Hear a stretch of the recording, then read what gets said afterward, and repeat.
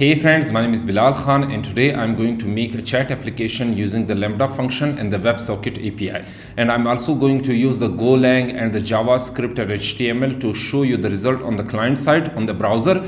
So this is the thing that I'm going to be working on and I will show you all these steps. But before this, as you can see here that I'm present in the AWS Management Console. So I will first of all open the Lambda function all right. So this is lambda function that i'm going to use and i'm also going to open the uh, api gateway here. All right. So let's open this so now it will take some time so let's wait for this.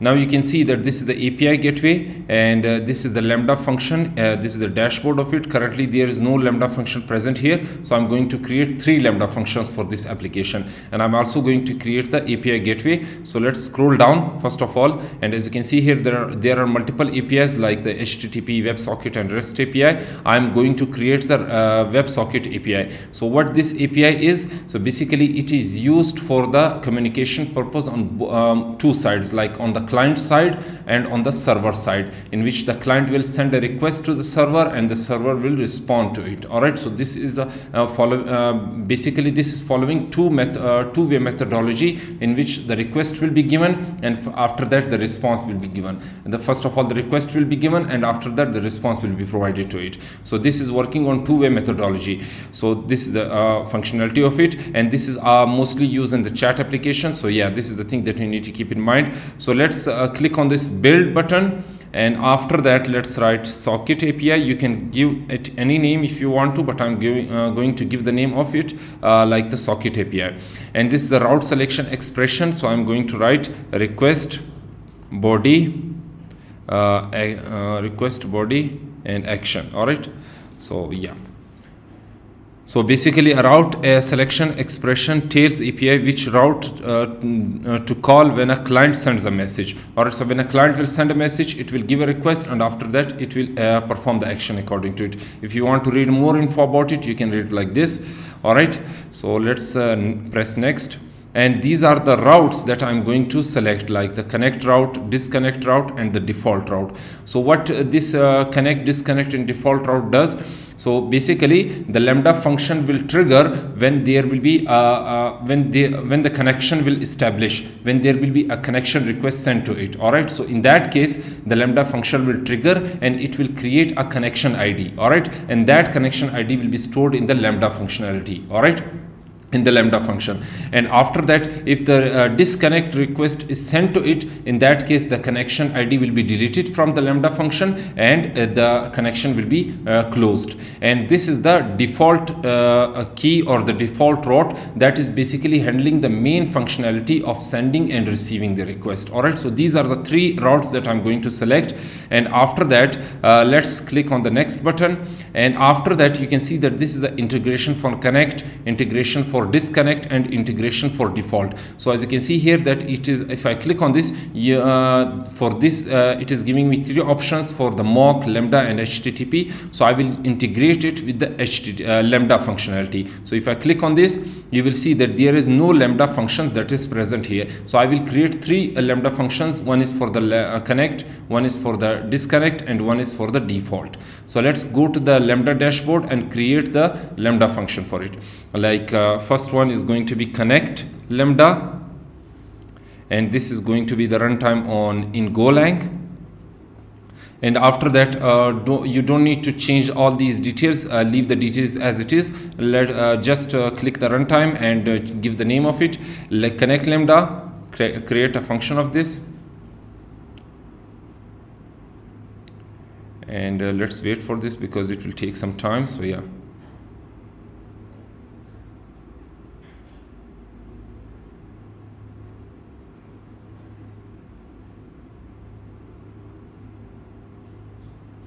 So yeah, you can see here that the connect lambda uh, function is created. I'm going to create two more functions. The first, uh, the second one is, is going to be disconnect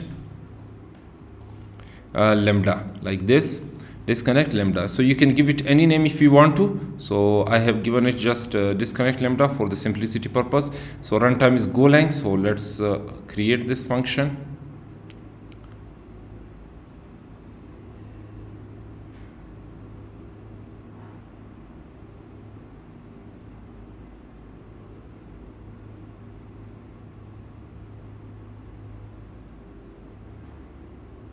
so yeah this is also going to be created. So yeah it's created now. Let's go to the create function again. And this time I will write default lambda.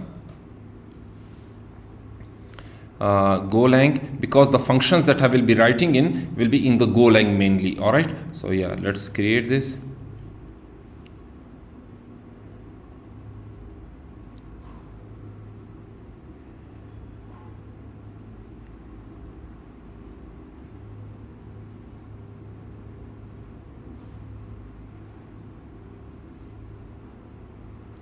So now you can see that the default lambda is also created. These are the three functions that are created and the, the connection ID will be stored in these, uh, uh, what you can say, these functions, all right, that I talked about. So now let's choose uh, the lambda function and let's write like this. Again, choose it lambda.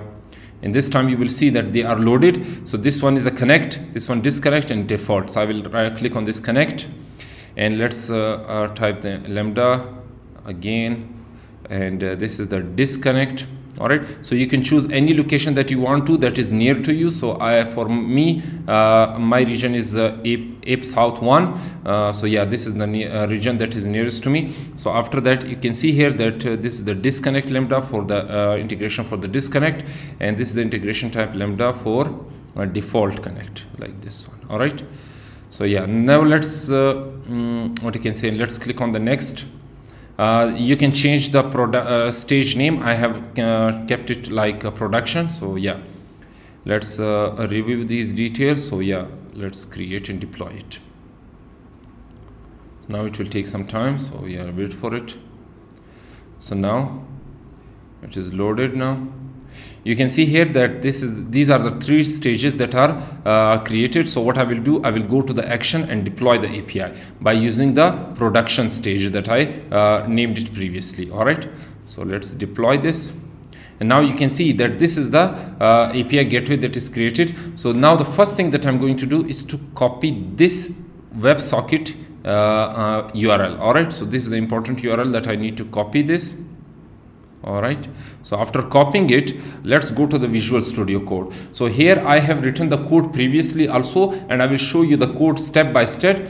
Uh, the first thing that i'm going to do as you can see here that this is the main.go file and inside this file the first thing that i'm going to do is to let's delete this uh, comments because i don't need it yeah. So the first thing that i'm going to do is the, uh, this is the uh, static directory that i'm going to call and inside this static directory all the files will be fetched and all the files will be read out. All right? So yeah you can see here that inside this static directory all the html and the javascript files are present here. And after that mm, uh, this is the handle function that will show that uh, the local host with the uh, slash will be executed in order to uh, run this functionality. And this is the uh, port number 8080 and this uh, based on this port the functionality will be running. All right so now let's go to the um, mm, html and cs javascript because inside this static directory all these files are present. So i need to take a look at these files all right? So now you can see here that inside this file there are multiple buttons. Like first one is the message input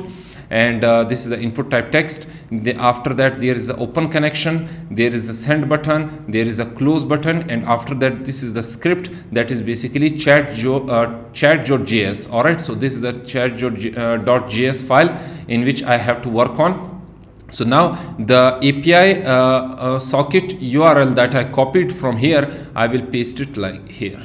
All right so this is the code that uh, that is written before. So yeah i will just show you what this code does. So basically it will first of all establish the connection. Once this uh, connection is established uh, it will give us the message. Or if uh, if it is not established it will give us the error.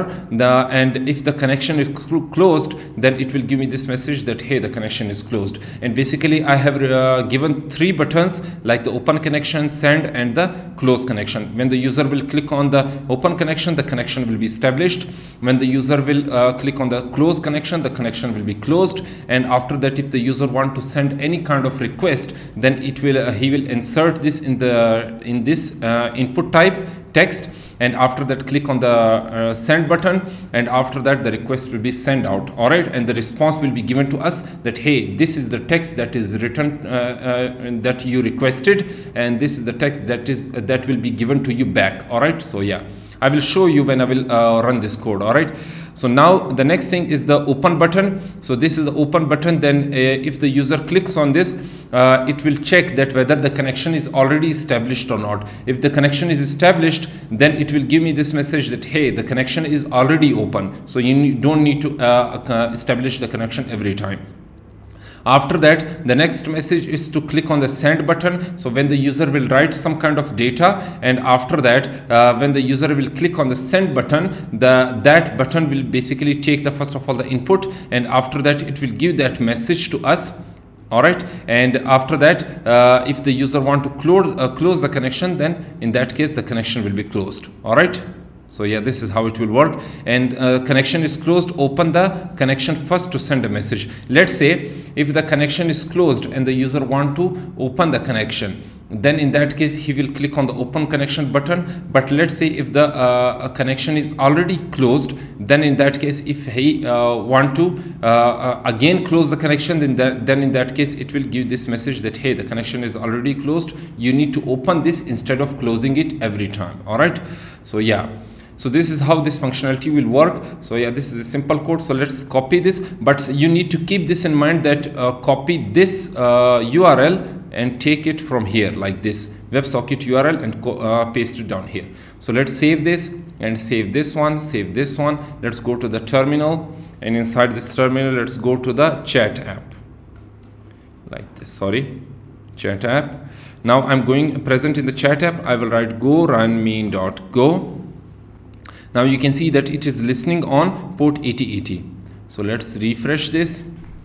Now you can see that this is the port 8080 and there are three buttons connection open uh, send and close connection. Currently there is a connection is already closed so i need to open the connection first. So let's open the connection. Now the connection is established. Now if i write any of the uh, thing and if I send a request to it you will see that the message is sent and now the response is given back to us all right so this is the response that i wrote it here and this is the response that i got it here like this. All right so let's write another message like this. If i send this request again you will see that this is the response that i got.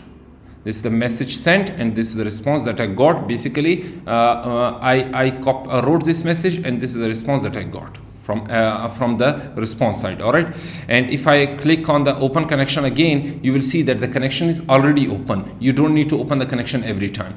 And let's close this connection. And let's say after closing the connection if i write this message again you will see and if i click on this you will see that the connection is closed. Open the connection first to send a message. So in this case you need to first of all open the connection in order to send a message. So this is how it will work all right? So yeah so this is a simple application and this is the code that I have shown you here uh, and this index HTML and C, uh, JavaScript code. And I run this code in uh, what you can say main.go file by taking these files. Yeah this is a simple application. Now let's uh, uh, go to the uh, lambda function. And I don't need these functionalities. So what I will do I will delete them. All right. After deleting this let's close this yeah. And similar case with here also I will delete this staging area. And uh, similar case with the APIs I will go to the APIs and uh, delete this socket API so yeah. So now this is done now. And uh, one after that what I will do I will uh, write what you can say. I will go to the uh, chat.js and inside this uh, JS what I will write? I will write AWS region. And uh, this is the prod what you can say. You can write anything you want to. And uh, basically this could be anything if I write like random text that I want to write. Just to show you that how it will work but I'm not going to write the exact URL here. Uh, it is just for the uh, what you can say uh, example purpose. So yeah let's write git add git commit